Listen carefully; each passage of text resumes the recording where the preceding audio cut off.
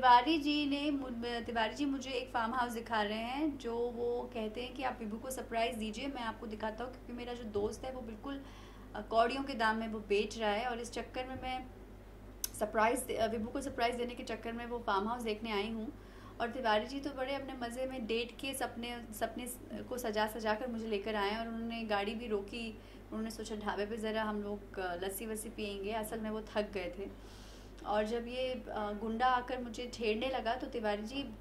हूल बहुत दे रहे हैं और बड़ी बड़ी बातें ज़रूर कह रहे हैं शेख ही बहुत भगा रहे हैं, लेकिन उनकी हिम्मत नहीं हो रही कि वो कुछ करें। फिर मैं बहुत देर तक तो उनको बचाने, उनकी इज़्ज़त बचाने के लिए मैंने कह रही हूँ कि चलो कोई बात नहीं, मुँह मत लगो इग्नोर कर दो। लेकिन जब मैंने देखा कि वो सामने वाला पीछे ही नहीं हट रहा है तो और तिवारी जी हाथ ही नहीं उठा रहे तो मजबूर होकर मैंने फिर गुंडे को ढो डाला और उसकी, नहीं, कई बार ऐसा हो चुका है, कभी कैट वुमन कभी पुलिस के जब गेटअप किए थे तो उसमें फ़ाइटिंग होती थी। लेकिन इस बार मैंने ना सीन में रियल में फ़ाइट कराया और मैं इस बात से बहुत डर रही हूँ कि सच में वो जो हमारा एक्टर है विजय उसको लग तो नहीं गई।